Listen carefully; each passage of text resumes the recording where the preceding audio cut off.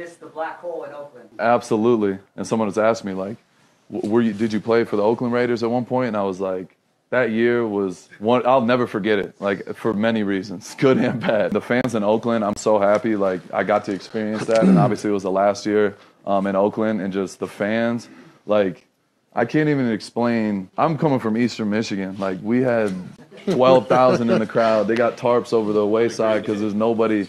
You know what I mean? Nobody over there. Like that's what it was. And then my first game, we're playing Denver on Monday night. Von Miller's on the other side. We got, you know, we're playing Denver. Like the crowd was. I can't even explain how ridiculous it was. They're throwing shit on the field. They're like people falling out of the stands. Like just a shit show. And then by the time the fourth quarter hits, you get the wave of, of Kush going through the whole, the whole, the whole stadium, and you're, I'm looking around, and all the guys are like, "Welcome to Oakland."